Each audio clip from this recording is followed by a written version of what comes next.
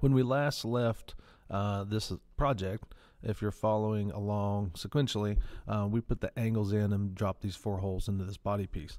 Now we need to go ahead, um, I'm going to show you something a little bit different that I didn't show in class. We are going to model the legs and maybe the neck. We're going to model the legs and neck uh, in context in con um, and, and what that means is using the body that we just created we're going to drive the geometry for the legs and for the neck.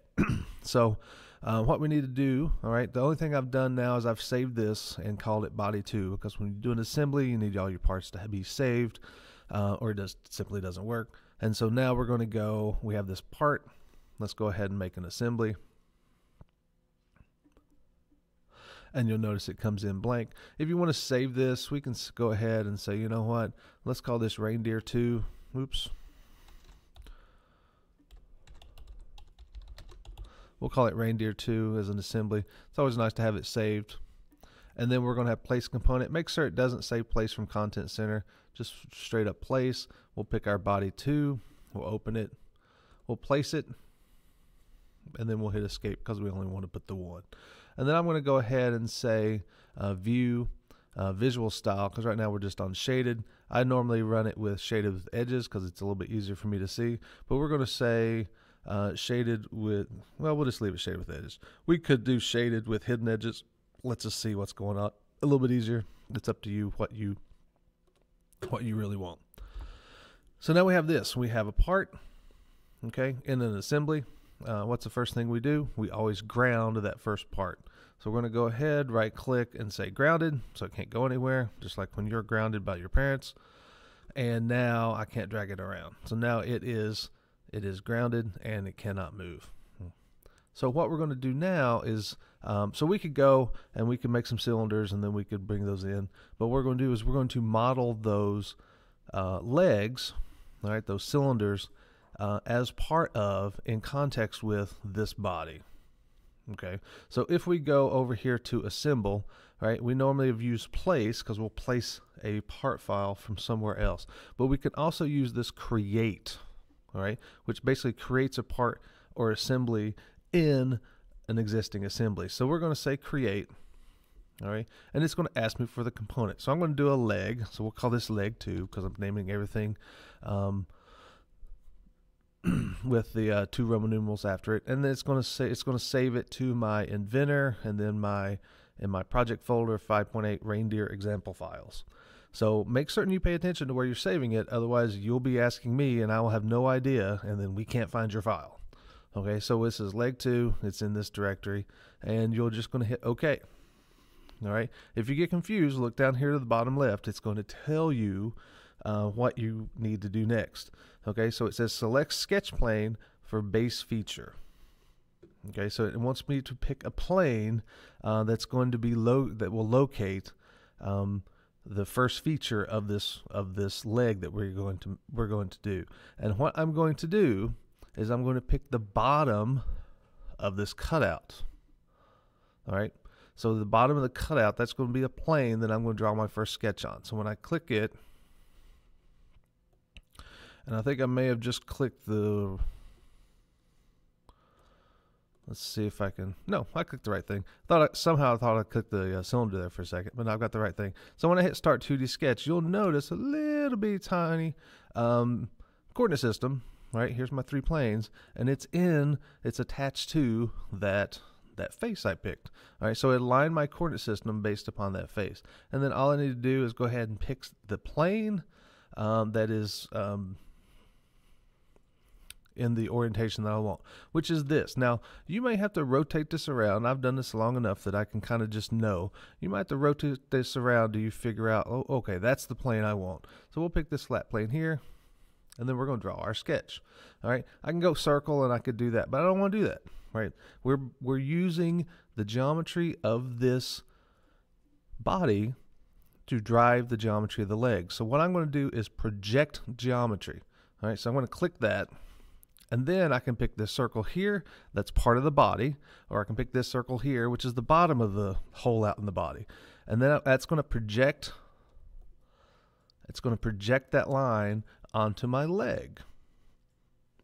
And so when I hit finish sketch, those are going to be exactly the same size. Okay. And the cool thing is, if I go back and change the hole size in the body, it's going to change the hole size in the leg as well. So they're all they're all attached and they're all going to move together. So I have that. So I have a sketch, and you'll notice that it's saying that hey, these are these are attached together. Um, I think they call it. I don't remember exactly what they call it. Uh, it'll tell us in just a second. I think uh, we hit extrude. And then if we look at this from this side, let's look at it from the front. Okay. Then so I'm extruding, and you'll notice that is exactly, it's exactly as, um, uh, it's exactly fitting the hole that's there. So I'm going to come up. I'm going to I'm going to make this a fancy leg. I'm going to come up to where I just barely clear the edge of that circle there, and you can kind of see it there. I'm just barely clearing. Okay, I might need to go a little bit more, and then I'm going to go and make another circle, and then bring that out even wider, and it's going to look really, really cool. So I'm going to bring it down to here. Why not? Uh, we can make this like let's say 4.75, and then that's going to be uh, a nice round number. I hit OK, and then now I have. You can see I have a part sitting inside that. Now notice this is all grayed out. This is because we are still in the leg part file. Uh, it just you can see the rest of the assembly. If we hit this return, it will take us back to um, the entire assembly. Uh, so we can go and do something else. So we're going to go in here. We're going to make another sketch. I'll drop my circle in. All right, maybe look at this from the front to see if that size is so that size is looking a little big. So let's go ahead and dimension this. And let's say this is 5.75. And that's to make it a little bit smaller. If I click on the front, then I can look here and say, okay, I'm clearing my body there. Uh, finish the sketch, extrude it, and I can look here to figure out how long I want to make the legs.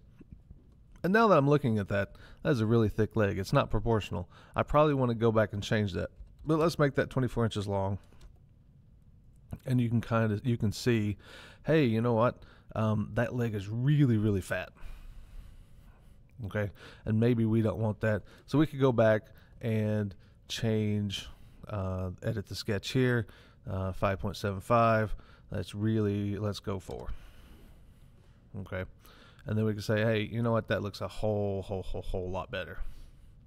Okay, and then that leg is done, so I can hit return all right, I can save the whole mess. Okay, so what you want to make sure to do, it's going to say files requiring save, and it says the reindeer and the leg. You want to make sure that yes, you can hit yes to all. That way everything is saved. And do you want to save this? Again, it shows you exactly where they are, and then you hit OK. All right, uh, so now we have the leg there. And so the leg is in. Um, so now we need to go ahead and put the other legs in there. Okay, so all we have to do now is we can just go place. We've just saved that. So here is, we go down through here, we'll see our leg two. All right, so we can hit open and then we can drop three more in there, hit escape. And then from there, all right, so now we can go ahead and go ahead and place, constrain these up, and then our legs are in place. Um, so there's two ways you can do this. Um, you can do one that requires two constraints, and so that is um, we'll pick the cylinder, we'll pick the cylinder and hit um, apply. And then you'll notice I can still move in and out.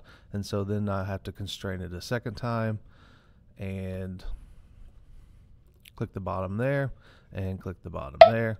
And then that will constrain it. And you'll say, Mr. D, you always say you have to constrain it three ways. This will actually still rotate. So I can grab this and I can rotate it in the slot. Um, it's just cylindrical, so it doesn't really look like it's rotating. But if this was square, you could see it rotating, and you could lock it down with a plane. So inside, inside the leg, you can go into the origin, pick the plane, and then you can see that as you rotate it, right, as you rotate it, that plane is also rotating. And so you could say, you know what, I want this to be parallel to this plane, uh, and then lock that rotation down. Uh, the other way you can do this, and I think um, it can be a little bit um, kludgy. It could be a little bit, uh, so we can use insert. So I click this right here where it says insert. It can be a little troublesome sometimes. Sometimes it works great, sometimes it doesn't. Um, so you can click the insert.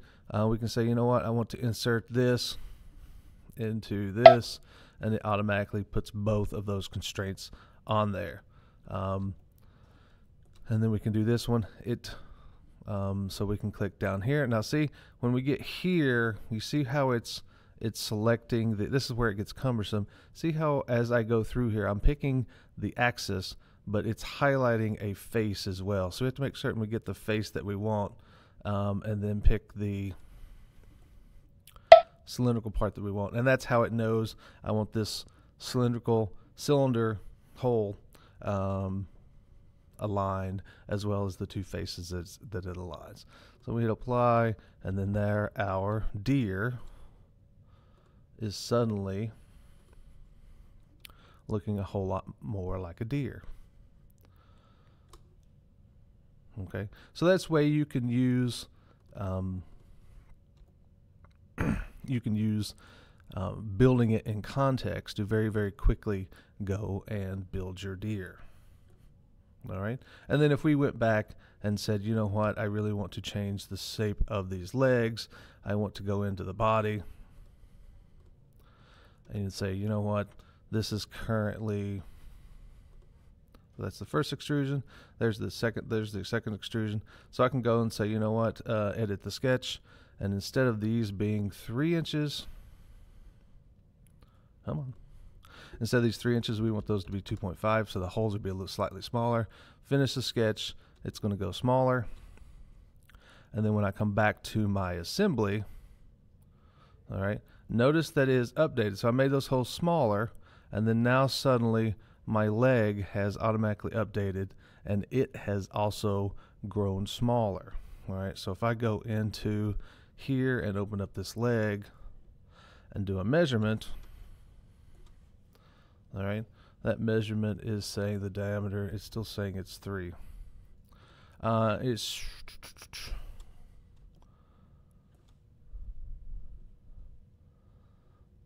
So do we?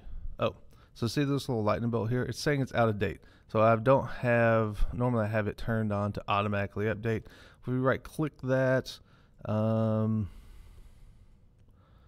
how do we update it really quickly?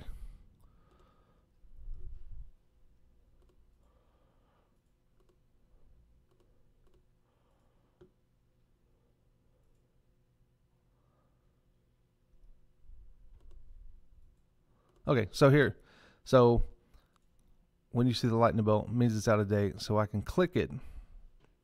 Let's click this button here, and we can locally update it. it regenerates the active part, or we can do a global update, which regenerates everything. I think if I do a local update, uh, it's going to get everything. So yeah, so now that is smaller. So you can click that little button, it'll automatically update, and then you're good to go. Normally, I change the the um, so now if I measure this, I'll change my settings so it does that automatically. Now that's 2.75. So that changed automatically uh, based upon um,